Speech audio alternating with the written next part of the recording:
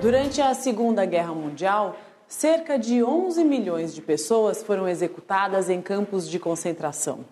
A Alemanha nazista pretendia purificar a raça ariana, os chamados brancos puros de origem indo-europeia.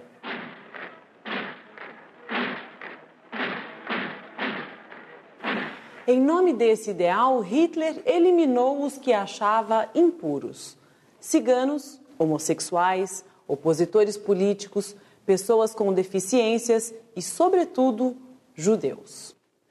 O nazismo criou campos de concentração como meio para praticar a seleção genética e controlar a reprodução.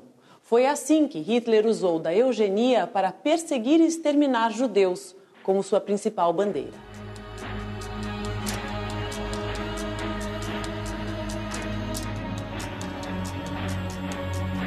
É quase impossível traduzir em palavras todo o horror causado pelo nazismo. Do ponto de vista filosófico, o horror tem a dimensão do irrepresentável. Se a gente pensa que esse acontecimento histórico, o Holocausto, ele é um acontecimento inimaginável no sentido da sua singularidade, ou seja, foi a primeira vez na história da humanidade que um Estado, um Estado de direito, ele usou uma máquina racional para promover o extermínio, né? O extermínio foi ra racionalizado. A lógica do extermínio é a própria lógica da produção capitalista. Então, essa é uma experiência é muito radical, muito singular. Alguns teóricos, alguns filósofos vão defender que ele é irrepresentável, inominável, em função do seu caráter excessivo. Portanto, ele não pode ser simbolizado ou representado pela linguagem e pela, pela estrutura da gramática de que a gente dispõe. Após o final da Segunda Guerra, entre 1945 e 1946, foi estabelecido um tribunal militar internacional para julgar o alto escalão nazista por crimes de guerra e contra a humanidade. O Tribunal de Nuremberg, como ficou conhecido na história, trabalhou 315 dias e levantou evidências suficientes para a condenação dos réus. No decorrer do tempo, outros tribunais também condenaram mais nazistas. Mas alguns questionamentos perduram até hoje. Por que os horrores nazistas tiveram pessoas comuns como cúmplices? Como praticar o mal tornou-se algo trivial e sem importância? O que levou parte dos alemães a exercer tamanha crueldade nos campos de concentração? Por que tantas pessoas cumpriam as ordens do terror sem contestação. Algumas respostas começaram a surgir quando a filósofa Hannah Arendt assistiu ao julgamento do oficial nazista Adolf Eichmann. Nor introduce Who handed uh, down death sentences in Theresienstadt? O alemão Adolf Eichmann nasceu em 1906. Fez carreira na SS, a polícia nazista, no final da guerra, foi capturado pelas tropas americanas, mas conseguiu fugir para a Argentina, onde viveu até 1960. Foi sequestrado por agentes israelenses e julgado em Israel por organizar a identificação e o transporte de judeus para os campos de concentração. Foi condenado à morte e enforcado em 1962. Hannah Arendt nasceu na Alemanha em 1906. Estudou filosofia e teologia e se especializou em teoria política. Aos 27 anos, com a ascensão do nazismo, foi impedida de dar aulas nas universidades alemãs por ser judia. Foi então para Paris, de onde emigrou para os Estados Unidos em 1941. 20 anos depois, em Jerusalém, Hannah Arendt acompanhou o julgamento de Eichmann. These groups exterminated hundreds of thousands of Jews. Por que, que ela quis participar desse julgamento, né? Primeiro, porque para ela, ela queria compreender melhor o que tinha acontecido. E também porque ela sentia que ela devia isso ao seu próprio passado né? Como ela era judia, uma judia de origem alemã, isso seria o contexto ideal para ela compreender o que tinha acontecido no seu passado na Alemanha e etc. E com seus, é, digamos assim, com conterrâneos, né? Uma coisa que a surpreendeu muito no julgamento, né, foi a figura do Eichmann, porque ele não era um sádico, ele não era um pervertido, né? Ele era que a surpreendeu foi a normalidade dessa figura. É comum vincularmos o mal a questões religiosas, sociais ou psicológicas. O mal demoníaco, invejoso ou simplesmente insano. Mas Eichmann não parecia ser nada disso. Ao invés de um monstro, o julgamento de Eichmann revelou um homem extraordinariamente comum, um funcionário exemplar que cumpria ordens superiores de forma condicionada. Sua motivação não era purificar a raça ariana, mas apenas ser bem-sucedido profissionalmente.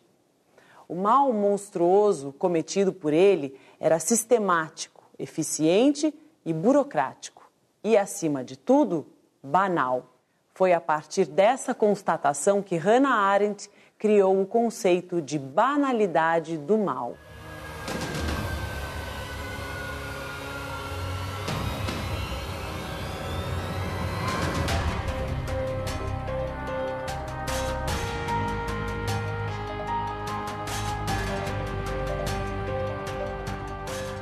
Esse conceito de banalidade do mal, o que ele era? Significa que é um mal que não tem raízes. Ele não é um mal radical. Ele é um mal superficial. O mal está sempre nessa nessa teoria da Hannah Arendt sobre a banalidade do mal, ele está sempre ligado à irreflexão, né? É, vale dizer que não é uma ligação com a burrice, assim, estupidez, não é isso. É simplesmente a irreflexão, não parar pela, para pensar algo. Se você está num ambiente que não, não te dá uma ordem para matar alguém, você não precisa se preocupar. Né? Só que no momento que você está num ambiente que esses são os valores dominantes da sociedade, aí isso se torna extremamente perigoso, porque eu nunca vou desafiar esses valores. A reportagem de Hannah Arendt sobre o julgamento de Eichmann foi publicada em cinco edições da revista New Yorker entre fevereiro e março de 1963. No mesmo ano, foi editada uma versão em livro. A obra causou polêmica e sua autora chegou a ser acusada de considerar Eichmann inocente, por julgar que ele era apenas um funcionário cumpridor de ordens. Então quer dizer que a banalidade do, do mal está em todos, né? Porque ela é banal. E daí esse foi um outro equívoco que ela teve que depois é, contrapor, né? Dizendo não, não é bem isso. Significa que existem muitas pessoas que realmente, por conta dessa reflexão, por conta dessa superficialidade, estão mais é, inclinadas a cometer esse tipo de mal. O conceito de banalidade do mal vai além da compreensão dos atos de Eichmann e dos acontecimentos na Alemanha nazista. A filosofia entende o conceito como fundamental para compreender eventos que ocorrem ainda hoje.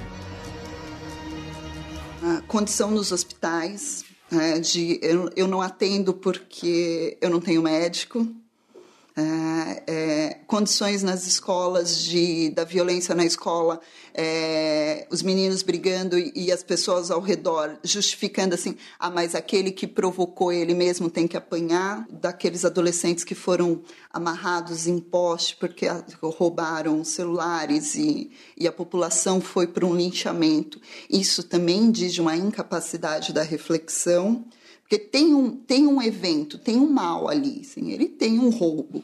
No entanto, quando eu justifico que pelo roubo dele é, é, eu posso cometer outro crime, é, eu posso provo, provo, promover um linchamento, o que eu estou deixando claro é que o outro não, não tem a mesma condição de humanidade, ele é só um objeto. Toda tentativa de justificativa que se dá por uma causalidade leva por uma incapacidade de reflexão, que é não conseguir pensar o que, que isto está provocando no outro. Quando eu escapo disso, porque de fato é muito mais complexo parar e pensar todas as consequências e, e se ver nessa história, eu viro um burocrata, né? eu viro um Eichmann. Será que aprendemos alguma coisa com o Holocausto? Em determinadas circunstâncias, o ser humano ainda seria capaz de praticar horrores? Afinal de contas, populações inteiras ainda vivem sob o totalitarismo que movimenta a crueldade com suas engrenagens políticas e burocráticas. O conceito da banalidade do mal de Hannah Arendt ficou na história como um alerta à humanidade.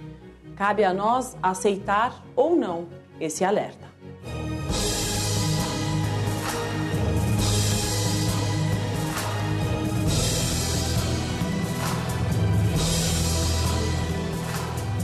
Ich schwöre dir, so wie wir und so wie ich in dieses Amt eintrat, so will ich dann gehen. Ich tat es nicht um Gehalt.